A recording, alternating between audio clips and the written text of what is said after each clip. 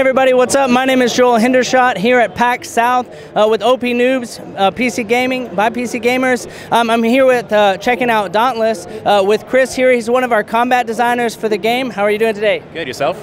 Very good, thank you. It looks like you guys have an amazing setup here uh, and an amazing product that you want uh, that you're showing off for us. Can you just tell us a little bit about that? Yeah, absolutely.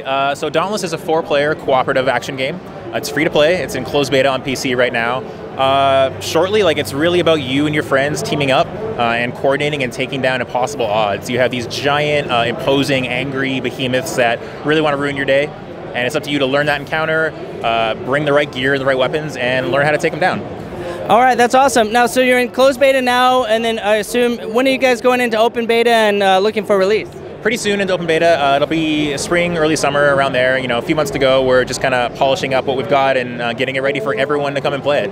Awesome. So now, when we're taking out these huge uh, behemoths and stuff, everybody wants to kind of have their own ownership. Can you tell us about uh, a little bit about like the weapon styles and the character customization, that kind of thing? Yeah, so uh, we have five primary weapon classes in Dauntless. Um, you are free to switch amongst them, you know, between missions. We don't lock you into a class but uh, how they perform and the roles they serve are, are hugely important. Um, we have three physical damage types. Um, we have blunt, pierce, and cutting, and how, how those damage types interact with each other is super important, but they also have different effects on different behemoths and different behemoth parts. So it's really like this combat puzzle. Um, you know, you fight the behemoth a few times, you might get your butt kicked, but you learn their tells, you learn what they're weak against, learn what they're strong against, and then you and your friends coordinate, you know, bring the right gear for that particular fight, and then you figure it out. We treat it like, you know, every single encounter is a puzzle to be solved, and we give you all the pieces for you and your friends to figure it out. Awesome. And how does the community kind of find you guys and interact with you as the developer? We are uh, super, super active with our community. We're on Discord all the time, uh, probably too much when we should be working.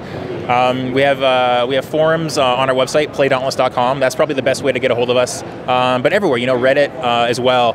Um, we uh, we talk to our, our community quite a bit, and, and their feedback has been super important in the last year or so in, in kind of shaping what Dauntless has become and, and where it's going. And what's the most exciting thing for you working on this game and releasing a project like this?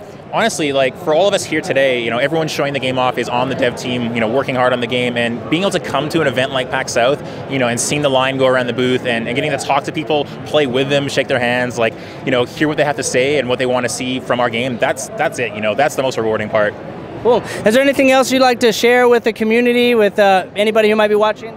Uh, yeah, I mean, we've got a lot of really cool stuff that we're working on right now for open beta. Um, I think you're going to be really pleasantly surprised if you've been following Dauntless up to this point. Uh, if you haven't, uh, go to playdauntless.com. That's the best place to find out what we're doing, what we're doing next, and to sign up for uh, for beta access and to find out when we're going to open beta.